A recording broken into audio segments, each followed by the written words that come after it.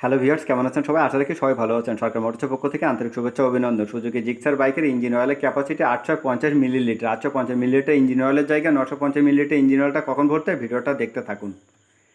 একটি ইঞ্জিন অয়েলের ফিল্টার নিলাম।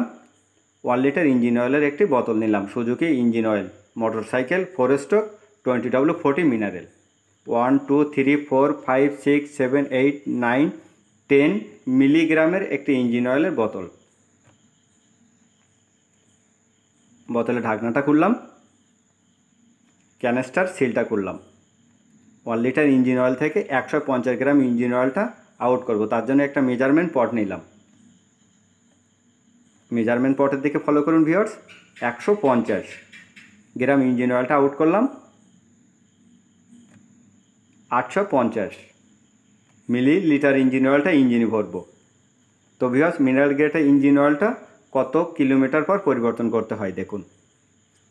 ইঞ্জিন অয়েলের ফিল্টারটা যখনই পরিবর্তন করতে হবে, ইঞ্জিন অয়েলের সাহায্যে ফিল্টারটাকে আগে ভিজাই নিতে হবে। তাহলে বাইকটা যখন স্টার্ট করা হবে, তাহলে সহজে ইঞ্জিন অয়েলটা সমস্ত জায়গায় সহজে যেতে পারবে।